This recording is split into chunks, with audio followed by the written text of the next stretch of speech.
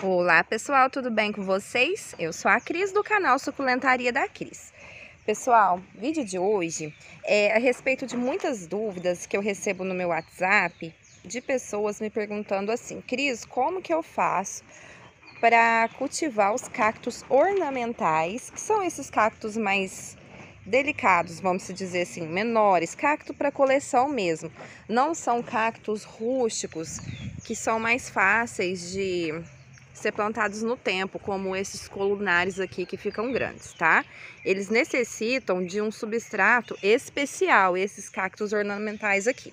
Então, eu vou mostrar para vocês, é, ensinar para vocês um semelhante a esse, tá? É super simples de ser feito, tem alguns segredinhos aqui que vocês têm que ver para aprender e não mais apanhar. Vou deixar uma tabela para vocês com o grupo de, de cactos, né? Porque vocês sabem, como as suculentas, assim como as suculentas, também existe o grupo dos cactos, né? Por exemplo, as mamilárias, esses aqui é o matudai, esse daqui é aquele que fica comprido, assim, muita gente chama ele de cacto anaconda, olha que bonito, dá uma floração maravilhosa.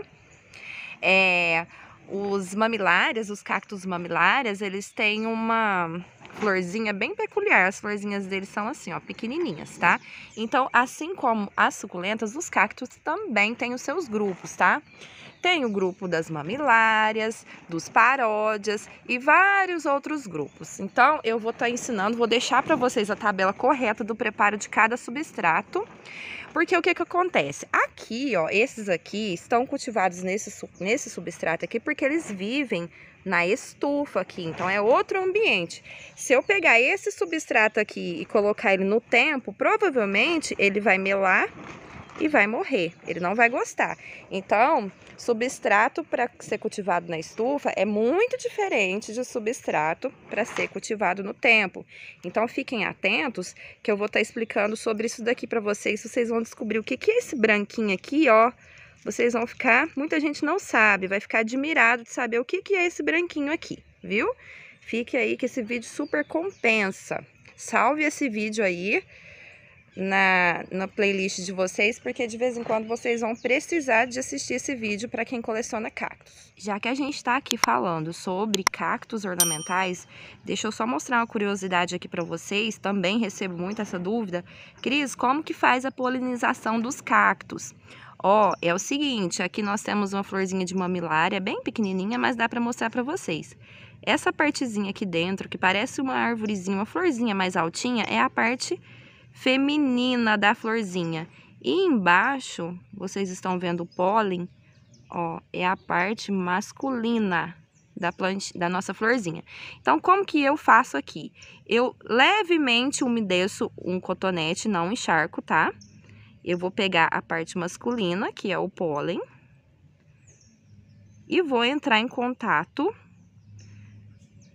Vou depositar esse pólen em cima da parte feminina, tá? O ideal para você estar fazendo isso é que haja ao menos duas florzinhas para dar certo. Mas não se preocupe, tá, gente? Não tem assim essa tanta necessidade, porque na natureza tem as abelhinhas, principalmente as abelhinhas sem ferrão, que vem e já faz a polinização natural para vocês. Mas se vocês querem adiantar esse processo, é só estar tá fazendo isso daqui que dá super certo. Depois vai estar tá formando o, o bulbo de semente. Deixa eu ver se eu tenho algum... Aqui, ó. Aqui eu já tenho um bulbo, tá vendo? De semente, ele vai madurar e a gente vai plantar isso daqui. Aproveitando em bulbo, eu vou esclarecer uma outra dúvida. Hoje é um vídeo de esclarecimento de dúvidas. Que muita gente me pergunta, Cris, a minha aclepse. Eu vou mostrar para vocês as, as aclepses, que são as uérneas, as órbias, as estapélias. Está com, com Semente, o que, que eu faço? Porque ela explode e vai para todo lado. vou ensinar uma técnica para vocês, para vocês não perderem mais as sementes delas. Aqui, pessoal, aqui é a outra dúvida que muitas pessoas têm. Aqui é uma eclipse, tá? Ela já deu a florzinha dela, essa daqui é uma uérnia. É uma uérnia híbrida. Ela deu a florzinha dela, foi feita a polinização e formou isso daqui, ó. Isso daqui são as sementes. Aqui dentro contém várias sementinhas que podem ser plantadas e vão todas germinar. E aí, o pessoal fala assim, Cris, que, que eu faço? De repente ela abre e voa toda a sementinha e eu não consigo resgatar as sementinhas. Então eu vou ensinar para vocês como que vocês vão fazer. Quando ela está mais ou menos assim, ó, ela está quase madura já, o que, que a gente vai fazer para a gente não perder essas sementes? Aqui, pessoal, eu tenho aquele plástico filme, tá? Todo mundo tem isso daqui, é super fácil de encontrar, muito utilizado aí na cozinha. Então, vocês vão pegar um pedaço desse plástico filme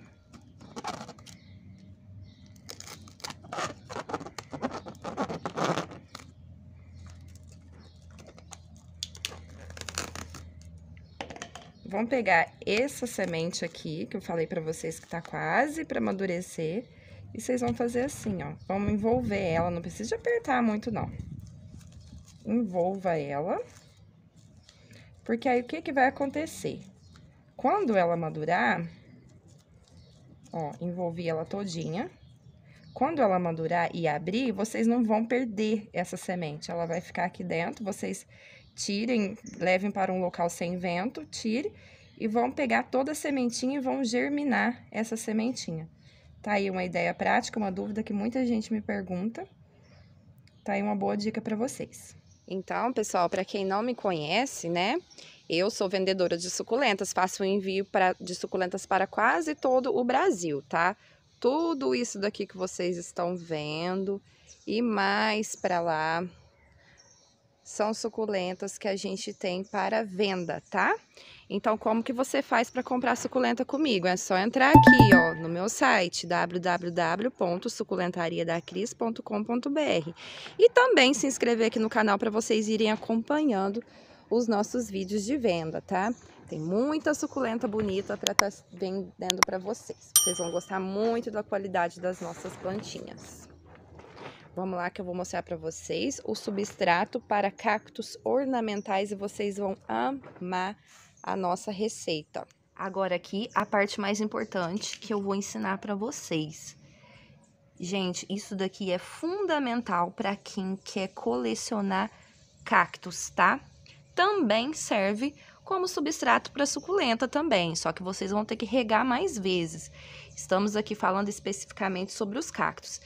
Gente, aqui o que eu disse para vocês que eu ia ensinar para vocês. Isso daqui, ó, quem usar nunca mais vai ficar sem. Nossa, Cris, o que, que é isso? Gente, sabe o que, que é isso daqui? É diatomita.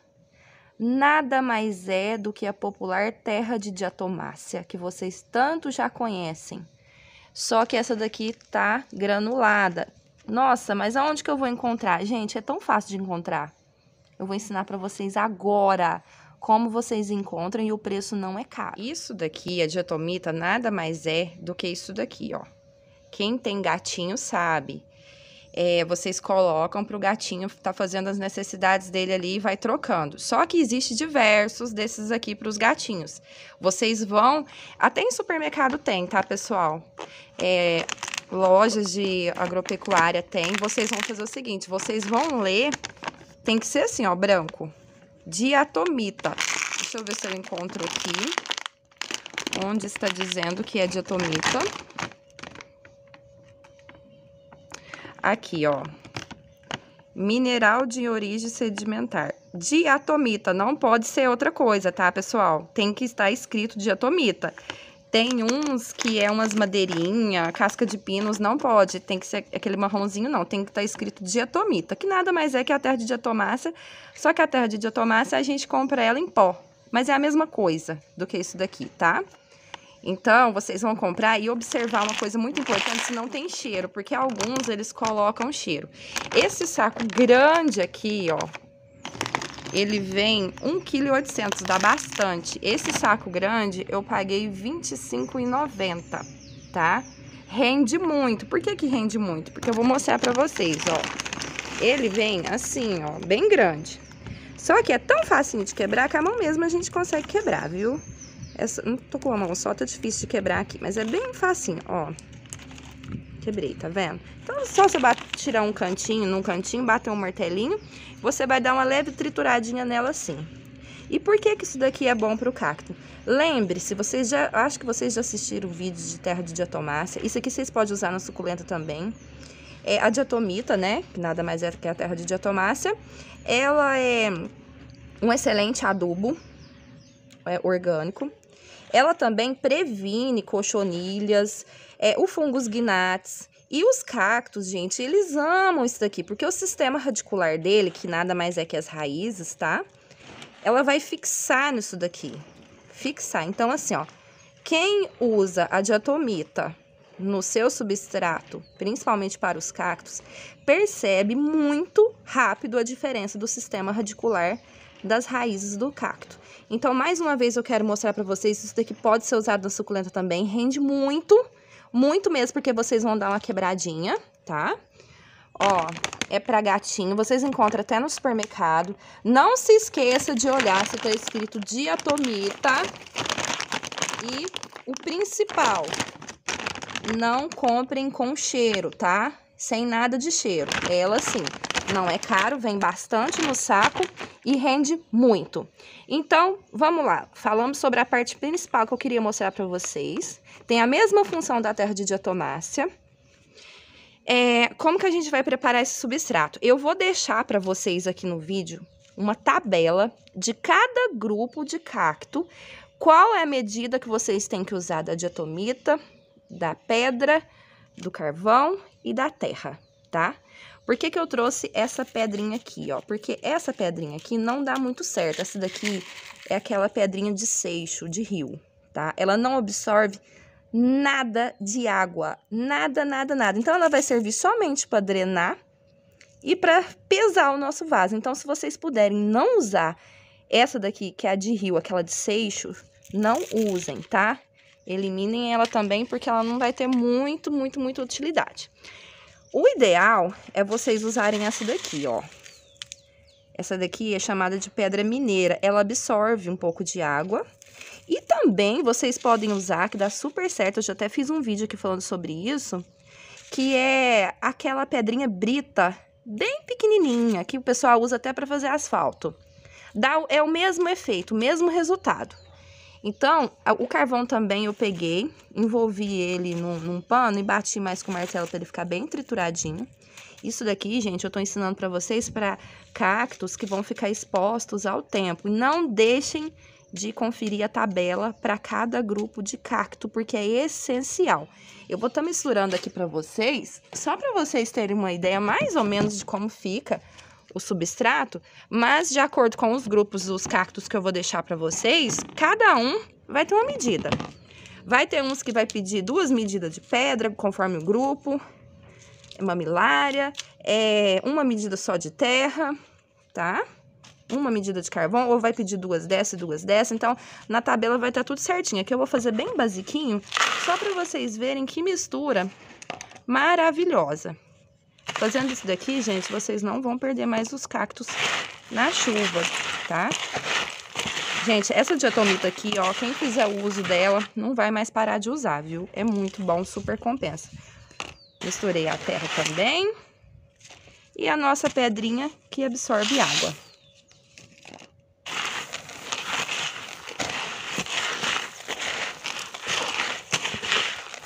Esse substrato aqui, do jeito que eu fiz agora aqui, pode ser plantado também as agavoides, que são enjoadinhas com, com água, tá?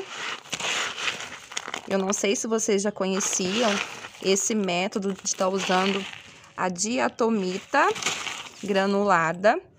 Todo mundo acha que é caríssimo, porque a diatomácea não tá barata no mercado, não sei se é porque tá na moda. Mas 100 gramas de diatomácea, o pessoal paga mais ou menos paga mais ou menos uns 15 reais, vamos supor. E aqui, ó, 1,8 kg você paga 25 reais. Então, olha como super compensa. Se você tiver a paciência, pode triturar isso daqui, bater até não ter jeito mais. E usar como terra de diatomácea. Só não vai ter como pulverizar, porque senão vai entupir o pulverizador de vocês. Olha que maravilha. Fez isso aqui, gente, não vai mais perder cacto para chuva. Não vai. Tá aqui o segredo para quem tem cacto bonito, tá? Então, às vezes a pessoa assiste o meu vídeo e faz pergunta assim nos comentários. Cris, mas por que, que o seu substrato é diferente do que você fala que a gente tem que usar? É por conta disso, gente. Os meus é cultivado em estufa, tá? Eles não sabem o que é chuva.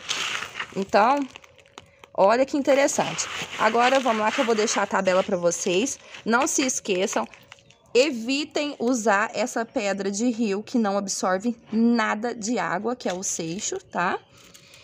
Tente usar a pedrinha brita, aquela bem fininha. Descartem da vida da suculenta de vocês essas pedras brancas de aquário, porque isso daqui solta pó. E tentem fazer o uso da diatomita. Vocês vão amar o resultado. A tabela de cactos que eu vou mostrar agora para vocês, que vai enriquecer o cultivo, a coleção de cacto de vocês. Vocês precisam de descobrir qual o grupo o cacto de vocês pertence. E como que vocês vão fazer isso? É, geralmente, quem vende, os vendedores de cactos, inclusive eu no meu site de vendas, tem a identificação do cacto. Se não tiver o grupo do cacto na frente, vocês pesquisam no Google, colocam o nome, a identificação que vocês têm do cacto e vocês vão descobrir a qual grupo este cacto pertence, tá? Para quem tem dúvida. Quem já coleciona faz tempo já sabe de cor, tá? São seis tabelas que vocês vão amar salvem esse vídeo, pode tirar print, não tem problema. Façam e depois me contem a experiência de vocês, vocês vão gostar. Vou mostrar certinho para vocês.